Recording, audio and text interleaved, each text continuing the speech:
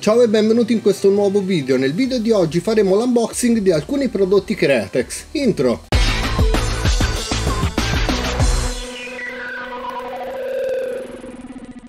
Non mi perdo tanto in chiacchiere e vado direttamente a fare l'unboxing.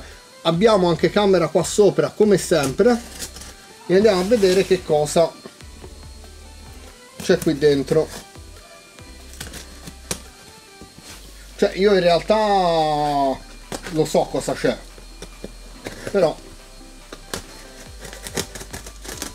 Opla. Uh.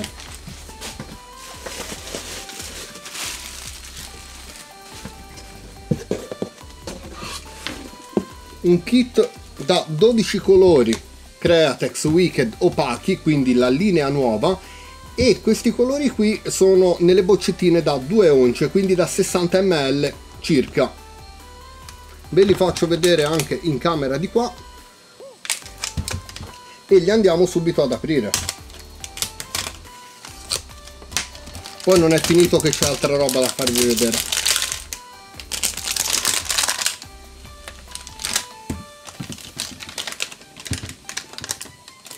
e andiamo a vedere un attimino questa qui è la gamma completa di questi nuovi colori di questa nuova linea opaca. Andiamo a vedere che colori abbiamo. Il classico bianco sposto questi che se no faccio casino bianco e nero un viola questo è un bianco sporco non saprei come definirlo color crema, l'arancione, il rosso, che ora vi spiego anche perché li sto separando, classico giallo, un celestino, cioè un blu celestino, verde, un'altra tonalità di giallo molto particolare, vedremo come impiegarla, il blu e il verde lime se non erro sì, verde lime, perché li ho separati? Perché questi che io ho qua sono l'equivalente, poi vi farò una comparativa dei Wicked trasparenti di cui io vi ho parlato in un altro video, ve lo lascio qui sopra tra le schede. Perché li ho separati? Perché con i Createx no con i Createx, con i colori primari di base possiamo andare a realizzare qualunque eh, tinta noi vogliamo, qualunque tinta noi abbiamo bisogno, quindi eventualmente se qualcuno è interessato all'acquisto e non vuole prendere tutto il kit può benissimo prendere magari i colori, il kit primario e vedere di svilupparci le tinte e di usarlo in quella maniera. Mentre se volete avere tutta la gamma potete benissimo trovare il kit o prenderli anche singolarmente man mano dove trovate tutti e 12 i colori perché sono 12 colori in tutto. Sposto questi e andiamo a prendere le altre cose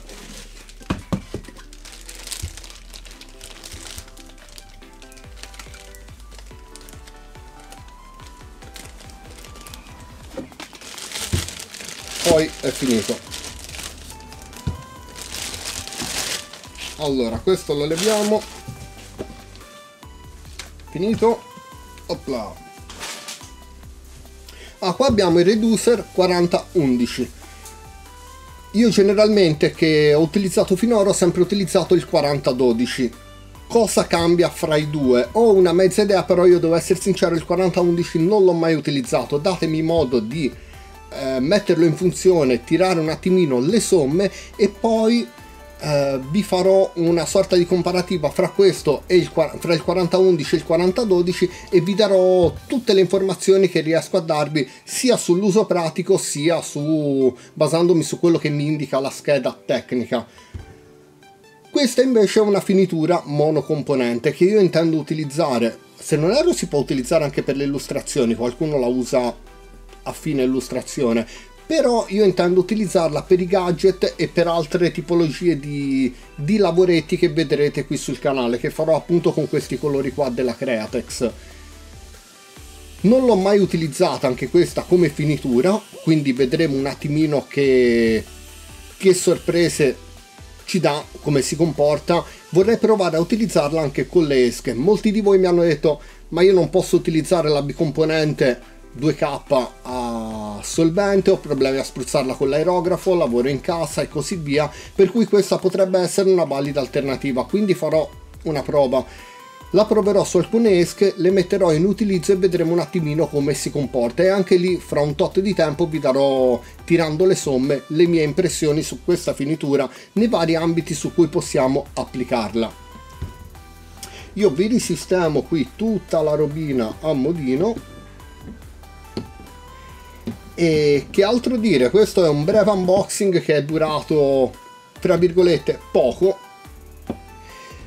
Vi potrei dare le prime impressioni, ma non ve le posso ancora dare perché questa linea non l'ho ancora provata, è inutile che io mi metto con l'aerografo a dare delle spruzzate, a fare delle lineette, roba varia, anche perché secondo me per tirare le somme su una vernice va utilizzata, va visto come come rende a lungo termine, magari fra un 15-20 giorni di utilizzo intenso vi inizio a dare qualche comparativa, faccio un video con eh, i Createx trasparenti, eh, anche perché conto, cioè l'utilizzare questo non mi esclude l'utilizzare quello, ma conto di utilizzarli fra virgolette insieme, anche perché come ho fatto con altri brand non mi garba utilizzare solo gli opachi, non mi garba utilizzare solo i trasparenti, ma in base a cosa devo fare li utilizzo entrambe. Dopodiché passerò a prendere anche qualcosina dei Detail, che è un'altra serie sempre della serie Wicked, per farvi una comparativa fra i tre.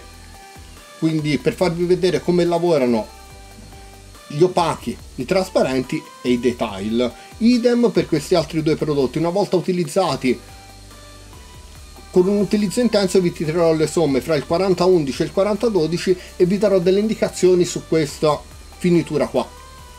Per il momento direi che è tutto, se il video vi è garbato lasciate un like, se non l'avete ancora fatto iscrivetevi al canale e a me non resta che salutarvi e darvi appuntamento al prossimo video. Ciao ciao!